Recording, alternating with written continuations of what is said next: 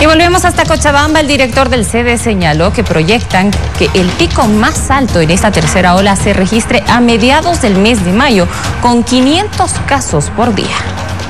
Los casos de coronavirus en el departamento de Cochabamba va en ascenso considerado. En la última jornada se registró 321 personas contagiadas de COVID-19, cifras elevadas por tercer día consecutivo. Autoridades en salud señalan que la situación se debe al relajamiento de la población al no cumplir las normas de bioseguridad.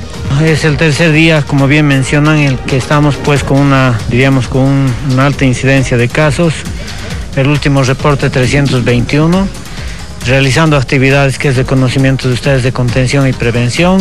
El director del Servicio Departamental de Salud señaló que proyectan que el pico más alto en esta tercera ola se registre a mediados del mes de mayo con 500 casos por día.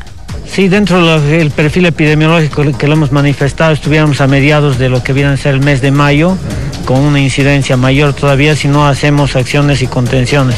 Se calcula que en el pico más alto estuviéramos sobre los 500 casos. Es en ese entendido solicitar a todos su colaboración en este evento en lo que es medidas de bioseguridad. Sin embargo, pide a la población mantener las medidas de bioseguridad con el uso extremo del barbijo y evitar aglomeraciones en espacios públicos.